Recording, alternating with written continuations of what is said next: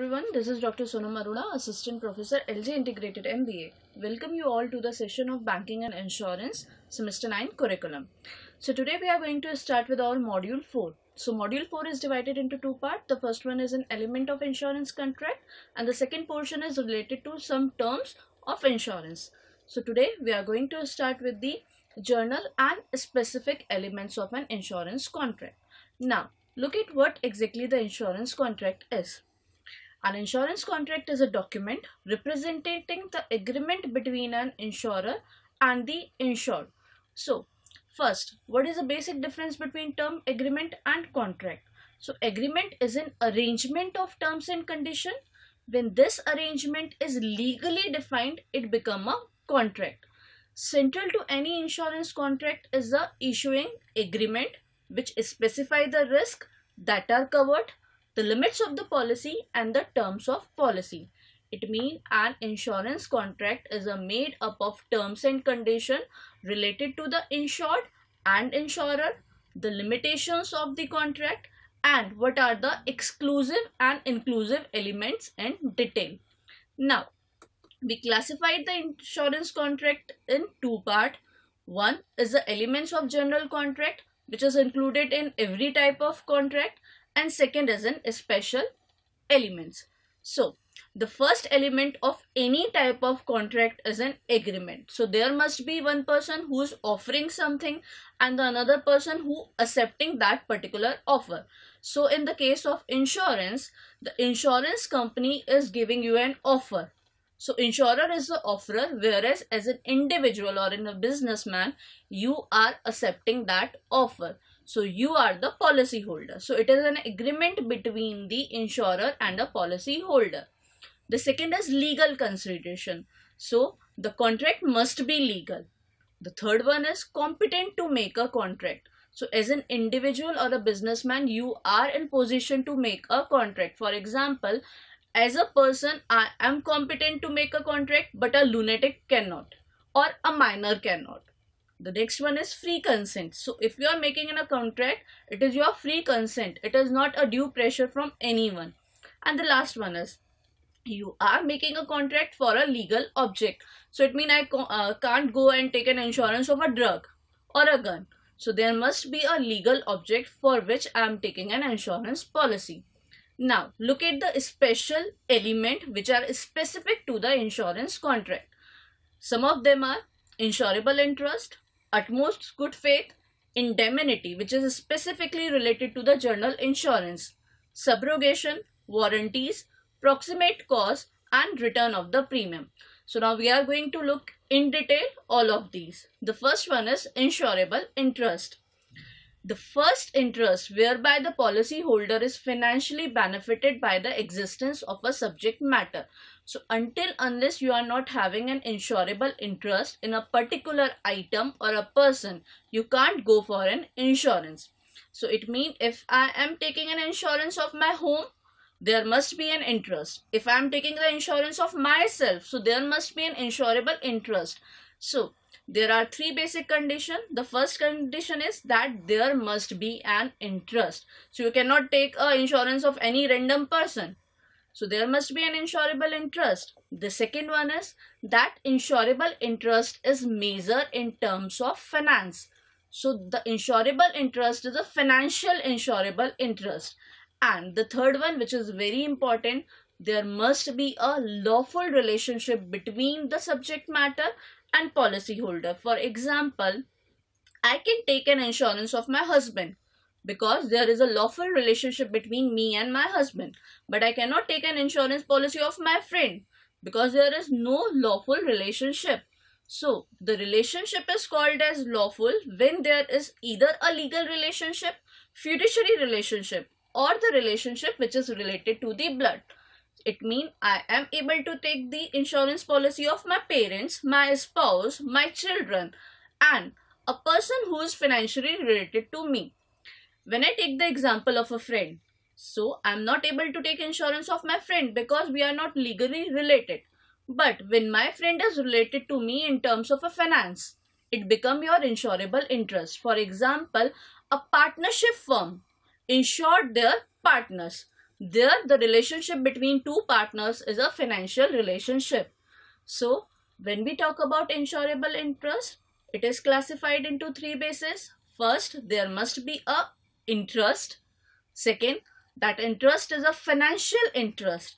And third, that interest and the person is legal. A lawful relationship is compulsory. Now look at the second. Before we move to the further, you here just check it out a small exercise. The first one here is a buying a policy for your wife. So is there any insurable interest? So I hope you go with all these seven point and check it out. Is there insurable interest exist or not?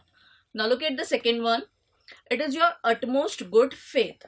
The doctrine of utmost good faith disclose all material fact. So it is a duty of both parties insured as well as insurer to disclose all the related fact, all the related material information before moving toward a insurance contract. The doctrine of disclosing all material fact is embodied in the principle of utmost good faith, which is applicable on all type of insurance contract. For example, if you are taking your medical policy, so you need not to disclose this particular thing that you are taking smoking or alcohol. So every material fact which is able to affect your contract need to be disclosed. Now look at the third one. Principle of indemnity. The principle of indemnity is a very important principle because it make a difference between your contract. So every insurance contract must have this principle of indemnity except the life insurance. As an insurer can be paid for actual loss only, not for the assured sum. For example, you take an insurance of 5 lakh rupees but your actual loss is of 1 lakh rupees. So insurance company is just liable to pay you 1 lakh rupees not the whole amount. Because if insurance company started pay you whole amount, first it is a loss for insurance company. Second as a person you started taking advantage and it become a gamble rather than a safety measure. So it is compulsory to follow the principle of indemnity. Now move to the next one. Doctrine of subrogation. If the insured is in a position to recover the loss in full or in a partial from the third party due to whose negligence the loss may have been accepted, this is a right of a recovery. Now, we can understand it with an example. You all drive car. While driving a car, some third party hurt you or your car. In that circumstances, it is a loss due to the third party. If third party is ready to pay you and you recover the loss from the third party, then you cannot go to the insurance company because insurance company is not liable now. Your loss is covered by the third party. So your loss is substituted towards the third party and now insurance company is not liable. So in many circumstances, people used to take the advantage of doctrine of subrogation insurance company is liable to pay you in the circumstances where third party is not paid you. So the doctrine of subrogation is a one law which make you to take the advantage of insurance policies ineffectively. Now look at the next law. When we talk about the warranties, a warranty is a certain condition or promise that by which the assured undertake that some particular thing shall or shall not be done. So these warranties may be implied or expressed in the nature. This is a warranty which set out certain guidelines that if particular thing happened, the insurance company will not pay you. And if certain things did not happen, insurance company is liable towards you. So it is necessary that warranties must be followed. Now look at the another one which is very important is a proximate cause. If there is a single cause of the loss, the cause will be called as proximate cause.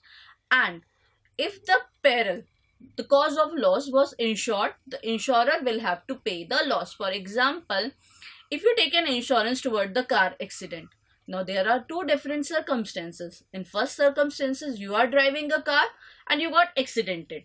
Now that accident is a proximate cause.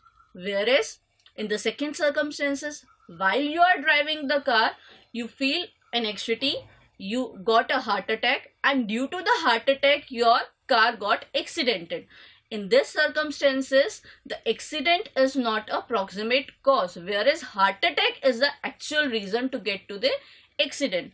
So whenever an insurance company is going to pay you, the company is going to check the proximate cause. What is the exact reason for a particular thing to get happen? So there may be a proximate cause or there may be a concurrent cause. For the example of the heart attack, first you get anxiety, then you got heart attack and due to that cardiac attack while driving it lead to the accident. So it is a concurrent of the event. In the concurrent condition it is the duty of the insurance company to check out the exact cause. In concurrent condition the company is not liable to pay you whereas in proximate condition the company is liable to pay. Now this is the main reason where the insurance company tried to prove that the reason of a accident or the reason of a cause is not approximate. Because if company is able to prove this he is not liable to pay you.